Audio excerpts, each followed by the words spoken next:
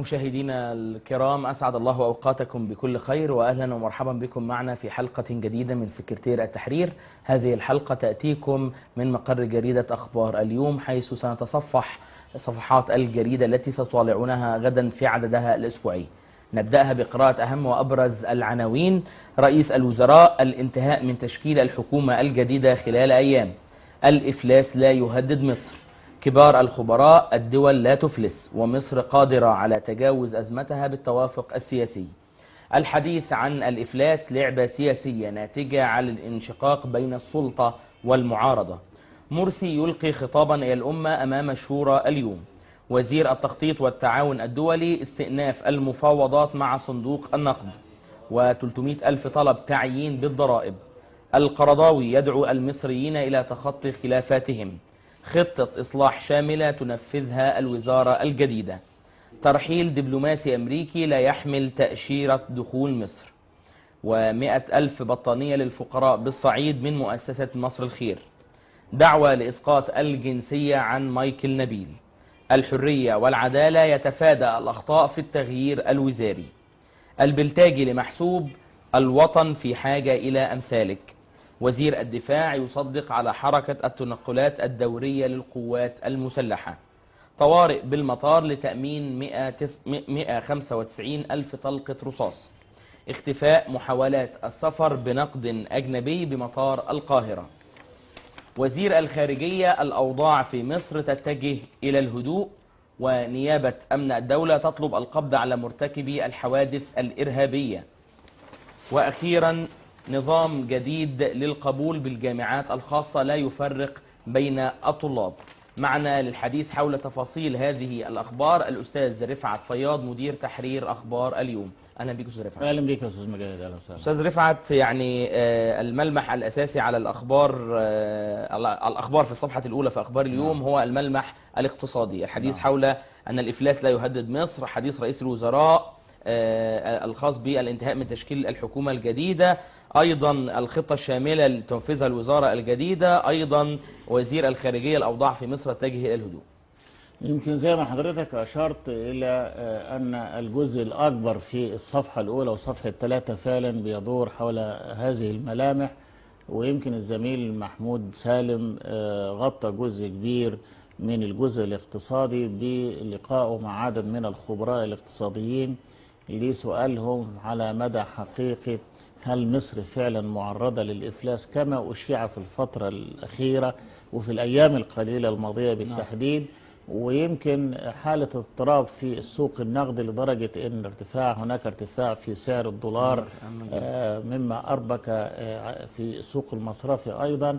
وأيضا هناك قلق من قبل المصريين الذين لديهم ودائع في البنوك المصرية والخوف من شبح الإفلاس كما يشاع.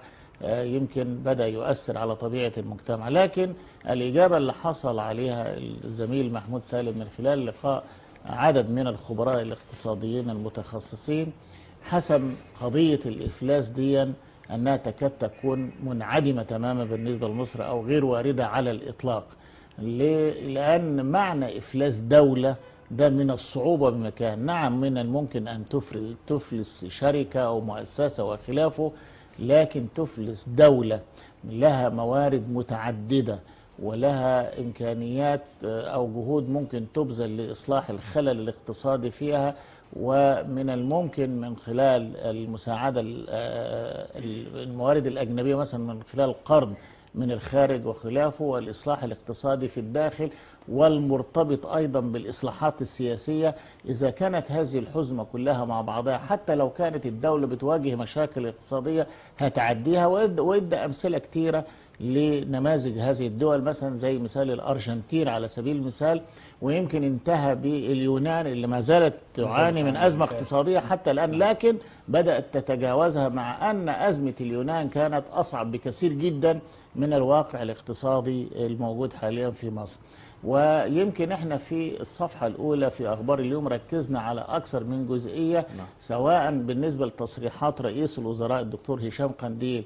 سواء بدءا من تشكيل الحكومة أو توجهات الحكومة والمهام اللي هتبقى هتلقى على عاتقها في الفترة المقبلة والجزء الأكبر فيها هو الجانب الاقتصادي أو تصريحات وزير الخارجية المصري وهو حاليا في موسكو عند لقائه مع وزير الخارجية الروسي لافروف والتأكيد على أن الأوضاع السياسية اللي هي تعتبر أحد العوامل الأساسية في عملية الاستقرار الاقتصادي بدأت مصر يعني يعود إليها حالة الهدوء وحالة الاضطراب التي كانت موجودة يمكن فترة قبل الانتهاء من إعداد الدستور وبعد وأثناء الاستفتاء على الدستور أو قبله مباشرة.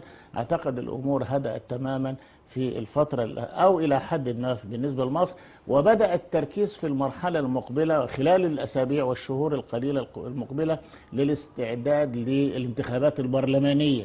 والانتخابات البرلمانية حتى تكتمل يكتمل بناء مؤسسات الدولة بعد انتخاب البرلمان القادم بالنسبة للخبر اللي حضرتك أشرت إليه بتصريحات رئيس الوزراء وما يجري حاليا دلوقتي من الإعداد لحكومة جديدة منتظرة ولكن الحكومة الجديدة هو فيها تعديلات وزارية نعم. قد قد يصل عدد الحقائب الوزارية اللي هتحدث في الحكومة الجديدة, حوالي 8 حقائب لأن إحنا عندنا دلوقتي حوالي ثلاث وزارات يا إما وزيرها آه، استقال مثلا زي الدكتور. محسوب مثلا بالنسبة لوزير الشؤون القانونية أو وزير الاتصالات أو وزير النقل مكانه فاضي برضه يعني ثلاث نعم. وزراء موجودة اوريدي مطلوب هيتاخد ثلاث حقائب وزارية مكانهم وهيحدث هناك تغيير في بعض الحقائب الوزارية الأخرى.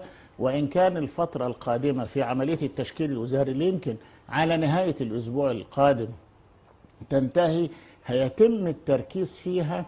ليس على أساس اختيار وزراء آه، يعني اختيارهم يتم بناء على انتماءاتهم الحزبية قدر الاهتمام بأن يكونوا وزراء تكنوقراط أو فنيين أو خبراء في التخصص وليس التركيز على الاختيار أنه يكون له إن- انتماء حزبي سواء الحزب الحرية والعدالة أو حزب النور أو أي حزب آخر وحزب النور أعلن لأن بالفعل أنه لم يجلس مع. رئيس الوزراء لاختيار بالضبط ليه؟ لأن الفترة المقبلة عايزة حكومة تكاد يكون وزراء التكنوقراط أو المتخصصين أو الخبراء أو الفنيين فيها أكثر من الجانب الحزب. وأعتقد أن هذا هو الاتجاه في الفترة القليلة المقبلة حتى أن بعض المسؤولين في حزب الحرية والعدالة قالوا لا إحنا وعينا الدرس تماما ويمكن في تشكيل الحكومة الجديدة أو أو تشكيلها بعد تطعيمها بعدد من الوزراء الجدد.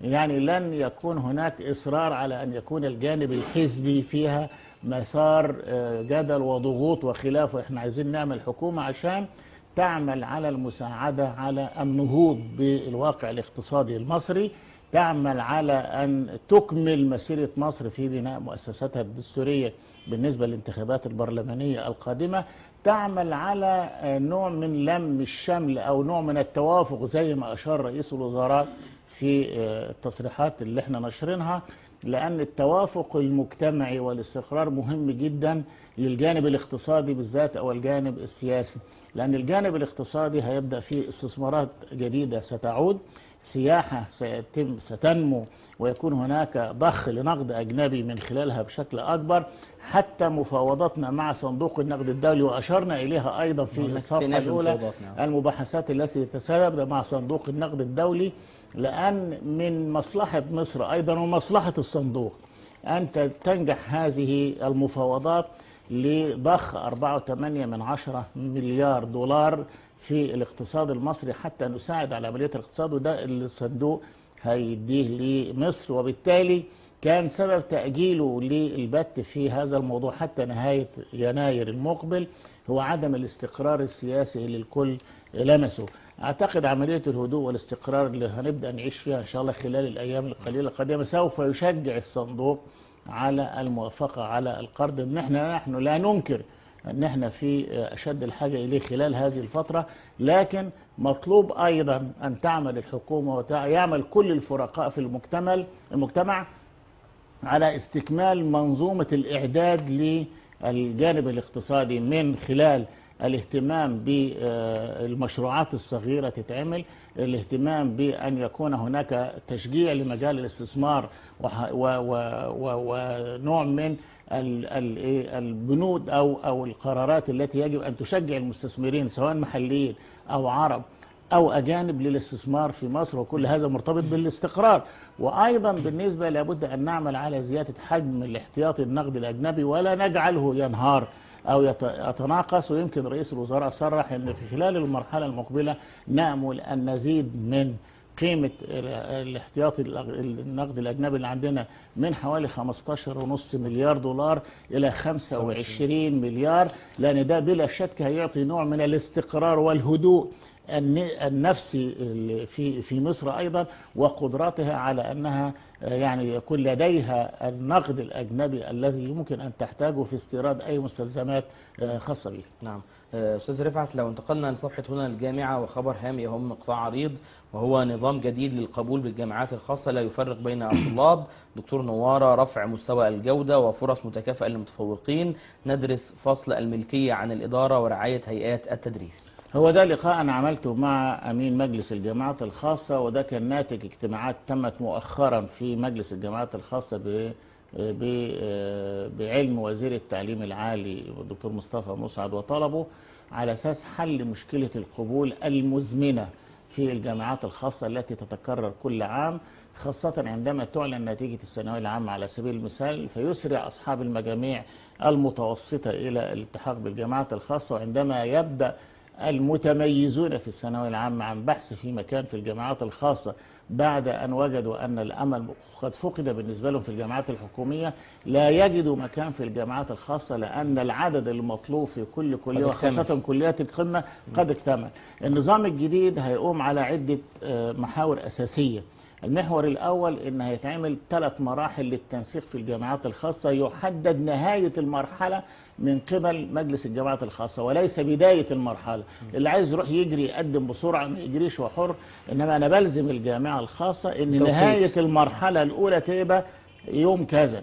ويبقى الحد الأدنى للتقدم وليس للقبول. مثلا بالنسبة لكليات الطب 92% وبكرر مرة تانية التقدم وليس القبول لأن أنا ممكن يتقدم لي مجموعة من الحاصلين على 92% فأعلى وتيجي كلية الطب تاخد العدد بتاعها في جامعة ما ولا حاجة وألاقي إن نهاية العدد اللي أنا هاخده ده يبقى الحد الأدنى فيه 95% فأبو 92% لحد 95% مش هيقبل في الجامعة الخاصة. هنا الهدف إن أنا آخد المتميزين وأصحاب المجاميع. العالية في الجامعات الخاصة لأرتقي بمستوى ونوعية الطلاب في الجامعات الخاصة. هذه واحدة. الجزء الثاني ودي هيبقى من خلال ثلاث مراحل. الجزء الثاني والمهم جدا إن أنا بساوي لأول مرة في الحد الأدنى للقبول ما بين طلاب الثانوية العامة وبين طلاب الشهادات الأجنبية والعربية العربية المعادلة والأجنبية سواء الأي جي أو الأمريكان دبلومة وخلافه وبين الوافدين. كله بيخش بمجموع واحد. مجموع الثانوية العامة ومجموع اعتباري للآخرين يوازي نفس المجموع بتاع الثانوية العامة ما اجيش أنا آخد بتاع الثانوية العامة مثلا في كلية الطب ب 95% آه، في الجامعة الخاصة مصر. ومن الشهادة ال IG أو ال American Diploma أو الوافد أخده ب 65% ده لن يتكرر مرة أخرى احتراما وتقديرا للشهادة لكن هيبقى في المصرية. مس- مساحة تنسيب في في الرقم يعني. ما هو التنسيب هنا نسبة اللي هيتاخد من كل شهادة دي ترجع إلى الجامعة الخاصة نفسها. بس بشرط إن لا يقل عدد المقبولين من طلاب الثانوية العامة في أي كلية عن 70% في كلية في جامعات بتاخد من الوافدين والشهادات الأجنبية وخلافه 2% من عدد المقبولين بها من هؤلاء الطلاب. وجام وكلية أخرى بتاخد 10% وكلية أخرى مثلا تاخد 25% المهم دي ما فيش فيها مشكلة بس بشرط إن مش هيقل عدد المصريين عن 70% من عدد المقبولين في كل كلية والمجموع كله واحد. فبالتالي لابد يكون هنا هيكون هنا تميز في نوعية الطلاب الملتحقين بالجامعات الخاصة وأعتقد أن في خلال سنوات قليلة قادمة لن يكون هناك فرق في الحد الأدنى كبير ما بين الجامعات الخاصة والجامعات الحكومية وبالتالي هنا أضمن أن خريج الجامعة الخاصة من المستوى المتميز اللي زي بتاع الجامعة جامعة. الحكومية. لكن هناك في جزء آخر وهو اللي بيدرس حاليا الفصل ما بين الملكية والإدارة. لأن هناك في كثير من الجامعات الخاصة تدخل في من يملكون هذه الجامعات في إدارة الجامعة وخاصة من الناحية الأكاديمية. هنا عايزين بيدرس حاليا الفصل ما بين الاثنين الإدارة شيء والجانب ال- آه، الملكية شيء والجانب الإداري للجامعة والأكاديمي شيء آخر ولا يجب أن يكون هناك أي تدخل لأصحاب أو من يملكون الجامعات الخاصة في عمل الجامعات الخاصة أو في نظام التدريس فيها أو الجانب الأكاديمي على الإطلاق. أستاذ رفعت فياض مدير تحرير أخبار اليوم. شكرا جزيلا لك. أشكرك. أعزائي المشاهدين فاصل قصير ثم نواصل سكرتير التحرير من داخل جريدة أخبار اليوم.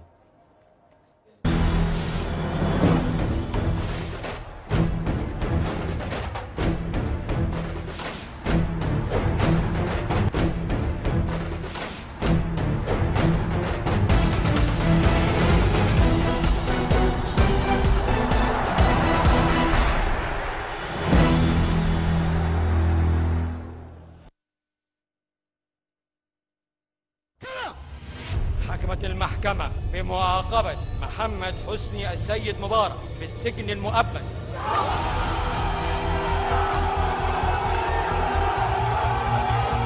إزاي كمان يطلع براءة؟ إزاي قال يطلع براءة؟ العدل ما حكمش عليه بالاعدام ليه؟ مبارك والعدل بس اللي مؤبد الباقي كله براءة الأحكام غير مرضية للشعب أهالي الشهداء غير راضيين عن الحكم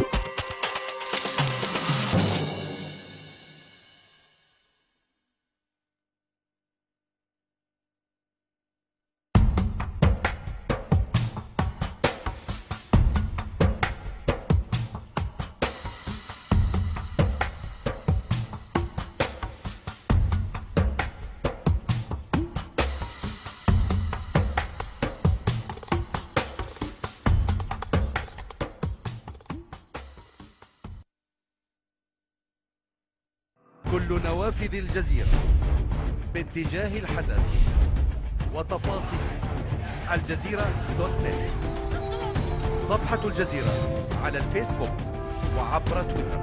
شارك دوت الجزيرة دوت نت خدمة الجزيرة موبايل. كيف ترى تطورات الأمور في الساعات القادمة؟ بين النور والظلام تكمن الحقيقة.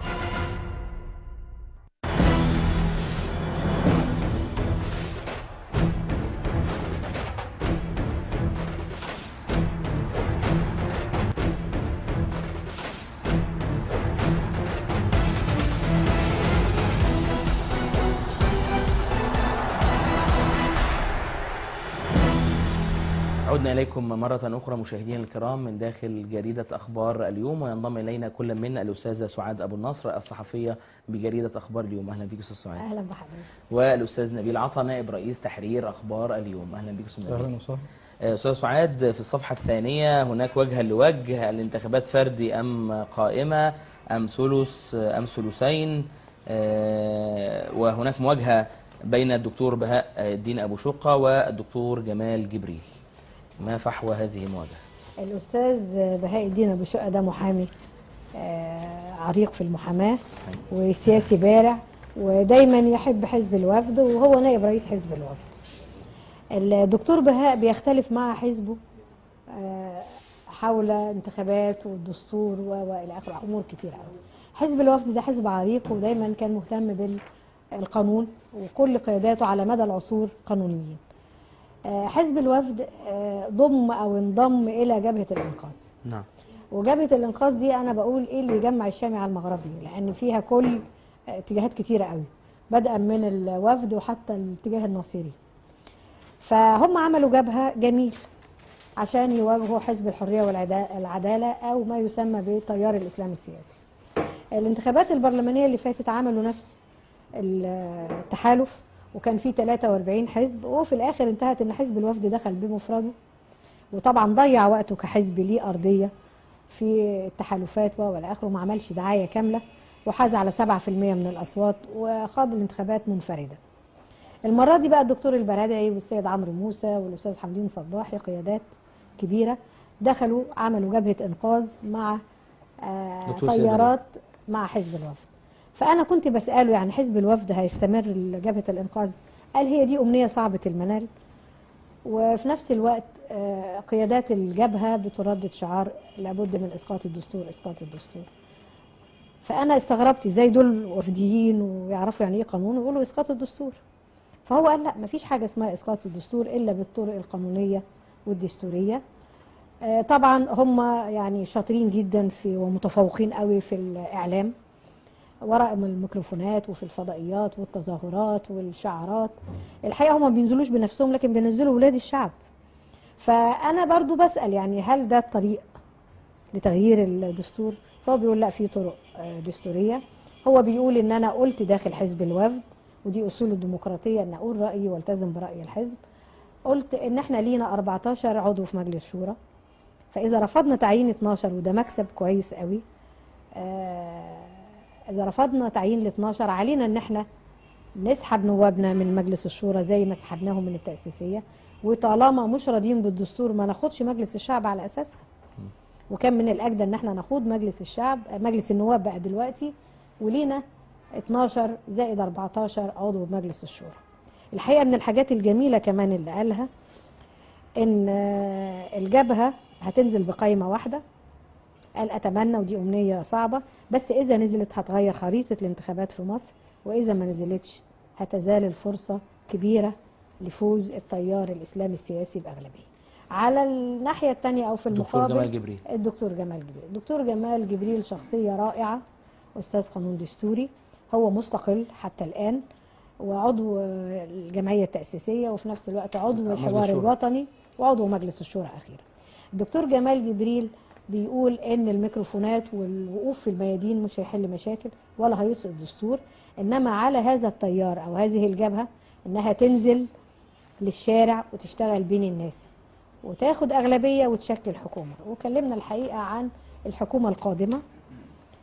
الحكومة القادمة هيبقى هتحكم بنسبة 60% ورئيس الجمهورية هيحكم بنسبة 40% بعد ال- الدستور الجديد.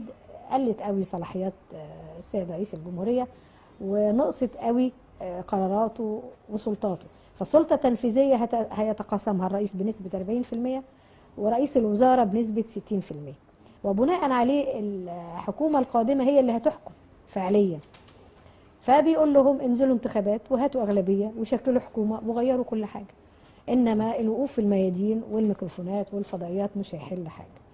ال- نظام الانتخابات حتى الآن المطروح آه، تلت مستقل وتلتين بالقايمة. وده اللي طبق المرة اللي فاتت في الانتخابات مجلس الشعب الأخير وفي هو نص عليه في الدستور بهذا الشكل يعني. تم النص عليه في الدستور بالشكل لا هو الدستور بيحدد الانتخابات لكن القانون لسه هيناقشوه ودي من القوانين العاجلة اللي هتدخل مجلس الشورى هو حتى الآن التلت فردي والتلتين قايمة. الدكتور جمال جبريل شايف إن القايمة في صالح المعارضة. بس بيقول لي أنا رأيي الشخصي إن كانت تبقى فردي لأن ده النظام اللي اتعود عليه الشعب المصري والنظام اللي ما بيظلمش حد. حضرتك إحنا عندنا دلوقتي ما يقرب من آه، 84 حزب. فالشعب يعرف كم حزب منه وهو حتى بيضرب مثل بيقول المعروف على الساحة الوفد وحزب الحرية والعدالة باعتباره نابع من الإخوان المسلمين لأن دول أقدم قوتين سياسيتين في مصر وبيشتغلوا الإخوان من 84 سنة والوفد نفس الحكاية. ويعني معظم السياسيين بيتخيلوا إن الصراع القادم هيبقى مستقبلا على المدى البعيد بين القوتين دول كأكبر حزبين ويتم تداول السلطة بينهم. بيضيف لهم كمان حزب النور. آه، التيار الإسلامي السياسي آه، لسه لحد دلوقتي ما حددش موقفه هل هيعمل تحالفات زي الجبهة ولا لأ. إنما هو بيقول لو المعارضة وجبهه الإنقاذ ظلت بنفس المنهج اللي ماشي عليه هتظل خريطة الانتخابات في مصر زي ما هي. هم اتفقوا في دي واختلفوا في حاجات كتير. شكرا لك يا أستاذ لو انتقلنا للأستاذ نبيل والحديث حول التعديلات الدستورية مسار النقاش في جلسات الحوار الوطني التي تحت رعاية رئيس الجمهورية. هو في الحقيقة رغم انتهاء الاستفتاء على الدستور بنسبة نعم بنسبة 63.8% إلا أن المعركة القادمة في مجلس الشورى هتبقى معركة حوالين موضوعين أساسيين. الموضوع الأولاني قانون انتخابات الشعب المعركة الثانية الوثيقة أو المبادرة اللي طرح ليها الرئيس مرسي بهدف إعداد القوى السياسية مختلفة مختلف انتماءاتها وثيقة للمواد الخلافية حوالين الدستور اللي تم إقراره كما وعد في خطابه السابق بأنه هيطرحها على مجلس الشعب في أول دورة برلمانية قادمة. آه، طبقا للمبادرة اللي طرحها الرئيس أخبار اليوم بتعمل تحقيق بكرة بتستطلع فيه آراء القوى السياسية موقفها من الإقبال أو عدم الإقبال على مبادرة الرئيس. آه، كالوضع زي ما هو موجود في مصر من فترة طويلة أو طول الفترة اللي فاتت في انقسام حوالين ده. في قوى سياسية رحبت بالمبادرة وقوى سياسية رفضتها. من القوى السياسية اللي رحبت بالمبادرة وطرحت تعديلات بالفعل وقدمت وثائق مختلفة بالتعديلات المقترحة من جانبها للرئاسة الجماعة الإسلامية آه، وعلى لسان آه، رئيس مجلس شورى جماعة عصام درباله آه، كان أبرز تعديلاتهم اللي طلبوها حذف كلمة مبادئ من المادة الثانية من الدستور. بحيث تقتصر على إن الشريعة المصدر الإسلامي للتشريع وحظر تفسير أي نص من نصوص الدستور بما يخالف الشريعة الإسلامية. ده كان أبرز نص هم طالبوا بتعديله في الوثيقة اللي قدموها للجنة الحوار في رئاسة الجمهورية. آه، حزب الإصلاح والتنمية آه، وزعيم انور السادات برغم انسحابه من الجمعيه التاسيسيه لأن هم قدموا آه، ورقة بمقترحاتهم وكان أبرز مقترح قدموه خاص بمواد دستور إلغاء مجلس الشورى تماما وعدم منحه أي صلاحيات في الوقت الحالي لإدارة شؤون البلاد برلمانية أو تشريعية.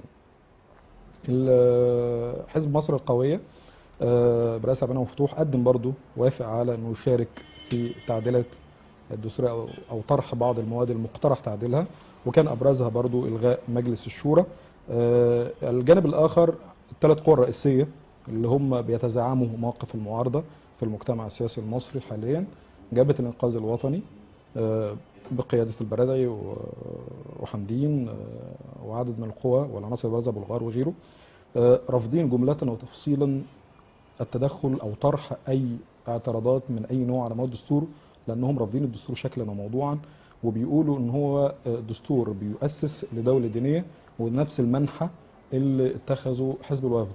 وقال إن الدستور بوضعه الحالي بيؤسس لدولة يمكن أن نسميها دولة الفقيه في إيران. رغم إن هم بعض قياداتهم وعلى لسان السباق القيادي بالحزب اعترضوا على 41 مادة آه، كان أبرزها إلغاء المادة اللي بتنص على تدخل المجتمع آه، في آه، إصلاح وتهذيب المجتمع. بيسمح بتكوين جماعات على شاكلة جماعات الأمر بالمعروف والنهي عن المنكر وتكوين ميليشيات مسلحة وما إلى ذلك ما ممكن أن يشيع الفوضى لحد قولهم يعني.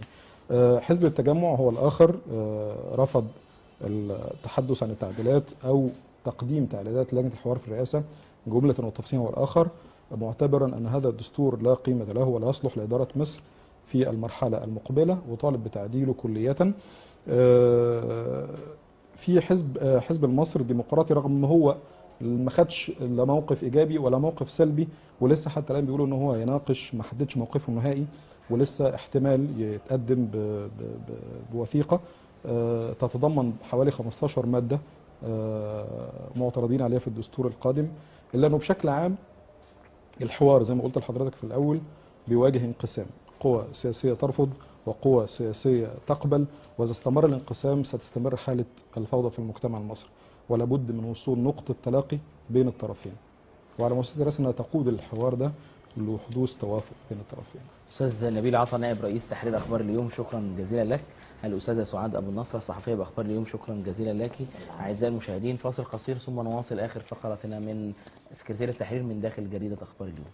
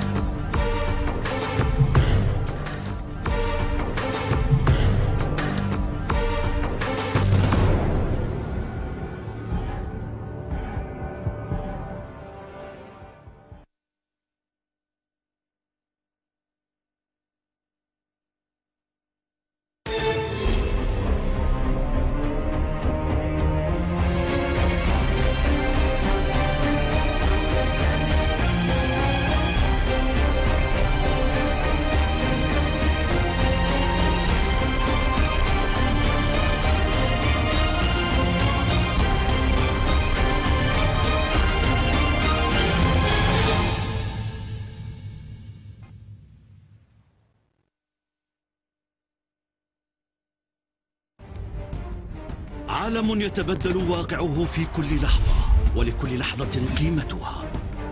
ولأننا نعلم ذلك نفتح عيوننا على كل الوقائع على مدار 24 ساعة. مباشرة من دون تدخل كي تعيش الواقع كما هو وتتفاعل معه. برؤيتك الجزيرة مباشر تلفزيون الواقع الإخباري.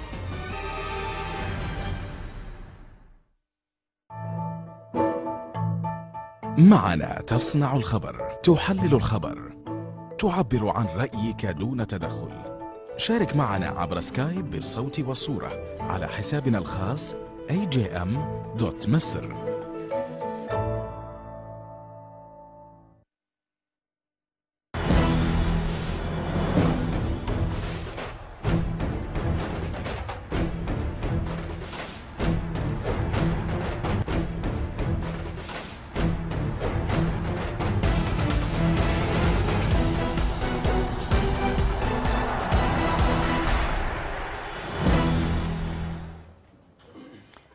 عدنا إليكم مرة أخرى في آخر فقرة لنا في سكرتير التحرير وينضم إلينا كل من الأستاذ عبد المجيد الجمال الكاتب الصحفي بأخبار اليوم. أهلا بك أستاذ عبد المجيد. وسهلا والأستاذ رأفت الكيلاني المحرر بأخبار اليوم. أهلا بك أستاذ رأفت. آه، لو بدأنا بأستاذ عبد المجيد آه، في الصفحة السابعة هناك حوار مع الدكتور رمضان بطيخ عضو مجلس الشورى والعضو السابق في الجمعية التأسيسية يقول المشهد السياسي مرتبك والبعض يسعى لتحقيق مكاسب سياسية على الرئاسة والتيارات الإسلامية الاعتراف بالمعارضة الوطنية وعلى القوى السياسية قبول شرعية السلطة ومساندتها. ما فحوى هذا الحوار؟ الأستاذ الدكتور رمضان بطيخ هو أستاذ القانون العام في جامعة عين شمس وهو يرى أن المشهد السياسي مرتبك. ليس بسبب الإعلان الدستوري المعترض عليه وليس بسبب الاستفتاء على الدستور وتمريره ولكن هو بيقول إن هذا الارتباك في المشهد السياسي يرجع إلى أسباب سياسية وبيهدف إلى آه، مكاسب سياسية. وهو بيرى في رأيه إن ذلك خطأ وإنه لابد أن ي- تنبذ كل القوى السياسية هذه الخلافات وأن تمد يدها إلى بعضها البعض. ويرى أن رئاسة الدولة عليها ومعها حزب الحرية والعدالة. ومن يناصره من أحزاب التيارات السياسية؟ أن يعترفوا بأن المعارضة في مصر هي معارضة مصرية آه، وطنية خالصة بتخ- بتسعى إلى صالح الوطن كما يسعون هم بالذات. وفي المقابل لابد أن تسعى آه، لابد أن تقبل المعارضة آه، بس- ب- بسلطة آه، لها آه، إدارة دفة الحكم ويمكن له المعارضة تشترك معها وتقف معها في خندق واحد وتساندها وفي رأيه أن هذا يحقق الاستقرار للوطن الذي ينشده المواطن يعني. نقطة البداية من الرئاسة والتيارات الإسلامية في الاعتراف أن هذه معارضة وطنية آه، وصالح مصر الاثنين مع بعض موازنة يعني الرئاسة تعت- تعترف الم- الرئاسة وحزب الحرية والعدالة والنصوص نعم. يعترف بأن المواطن أن أن المعارضة وطنية مخلصة بمعنى إنها ما فيش حاجة اسمها مؤامرات ومخارج مؤامرات و- وخيانة عظمى والكلام ده. دي نقطة البداية. وفي المقابل إن المعارضة تقبل سلطة آه، شرعية السلطة. وهو يرى أن ذلك الاستقرار الذي ينشده المواطن العادي يبدأ أو يمر من خلال الحوار الوطني. والذي بدأه آه، رئيس الجمهورية برعايه من نائب الرئيس اللي هو السابق يعني. وعندما سألته ولكن ال- المعارضه بترى أن الحوار الوطني حوار من طرف واحد آه، ليس لها أجندة علشان يبتدوا بيها وأن هناك آه، أشياء مفروضة بيقول ما فيش هو قال لا هو حاليا دلوقتي الرئيس أعلن في التلفزيون مرارا بأن الحوار مفتوح للجميع وأن الموضوعات على على الطو على الترابيزة يعني مفتوحة وأي حد. ولا هو في رأي الدكتور بطيخ إن تعالوا يا معارضة ادخلوا الحوار وبحسن نية. وإذا وجدتم أن هناك سوء نية في الحوار وأن هناك إقصاء اخرجوا للشعب وقولوا له هذا الكلام. ده بالنسبة لهذه الجزئية. أنا سأ... اتفضل. اتفضل اتفضل. اتفضل. أنا سألته عن رأيه في الاستفتاء. هو كأستاذ قانون دستوري رأيه في الاستفتاء ونتيجته ومن حيث عدد المشاركين فيه هو يرى أن هذا الاستفتاء سليم قانونا لأن ليس هناك نص دستوري أو نص قانوني يحدد عدد أو يطلب عدد معين من الشعب لي- ليشترك في الاستفتاء نعم. وفي القانون المقارن الدستوري المقارن يعني في الدول الأخرى المتقدمة ما ما بيشترطوش. بي- إلا نسبة 50 زائد واحد. من الأصوات الصحيحة. وهو ما كان في دستور سنة 71 وفي الدساتير المصرية السابقة. سالته عن مجلس الشورى وقلت له طيب مجلس الشورى دلوقتي تولى التشريع. كيف يتولى مجلس التشريع لشعب لم ينتخب منه غير 3% فقط؟ نعم. هو رد عليها بسؤال آخر قال لي هل العبرة بمن صوتوا لهذا المجلس أو بكيف يعني بنوعية أعضائه. ومع فهم نوعية الأعضاء بردك عندهم كفاءات ولديهم كفاءات ولديهم مقدرة ومع ذلك فإن الرئيس محمد مرسي عين مؤخرا 90 عضو يستكمل بهم عدد مجلس الشورى اختارهم من الكفائيات القانونية والدستورية والكفاءات الأخرى ليتوازوا في الكتلة التصويتية مع مع الفصيل الذي له الغلبة كما تدعي المعارضة. آه، شكرا يا أستاذ عبد المجيد لو انتقلنا للأستاذ رأفت الكيلاني والصفحه العاشرة وهي رسائل خاصة من المواطنين بعد إقرار الدستور. الشعب هو السيد. المصريون قالوا كلمتهم في الاستفتاء نرفض الوصاية مصر للجميع وليست للنخبه هو في الحقيقة بعد الفترة اللي فاتت اللي هي فترة الأخذ والرد التي صاحبت مرحلة إعداد الدستور ثم الانسحاب المفاجئ من بعض القوى السياسية قبل إقرار الدستور بصفة نهائية. ثم لو تطرقنا بعد كده للمرحلة اللي صاحبت الاستفتاء وما والاعتراضات الشديدة على الدستور. وبعد أن تم الاستفتاء على الدستور وظهرت النتيجة بنعم آه، نزلنا أو كان لأخبار اليوم أن تنزل إلى الشارع لتحصل على نتيجة من الواقع أو آه، تجس نبض الشارع عن قرب فنزلت أنا وزميلي مؤمن عطا الله وعمرو شاكر آه، في شوارع القاهرة كلهم في منطقة مختلفة لنرصد آه، رأي الشارع آه، في بعد هذه النتيجة يعني.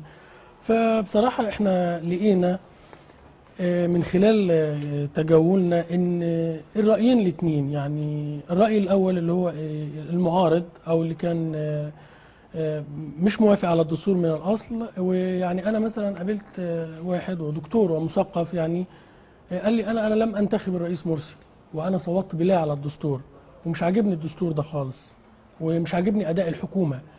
لكن كان كلامه في الآخر بيقول إن أنا لازم أو إحنا لازم علشان نقدر ننهض أو نمشي صح إن إحنا نمتثل ونحت يعني إلى رأي الأغلبية ما دام ارتضينا آه، الصندوق كحكم بيننا علينا أن نحترم هذه النتيجة.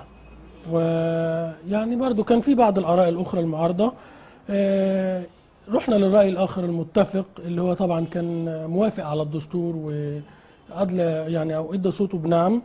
كل الناس كانت تقدر تقول انها يعني عايزة بتقول إحنا عايزين البلد تمشي إحنا بنتعرض لانهيار اقتصادي. آه، عايزين مؤسسات الدولة تتبني.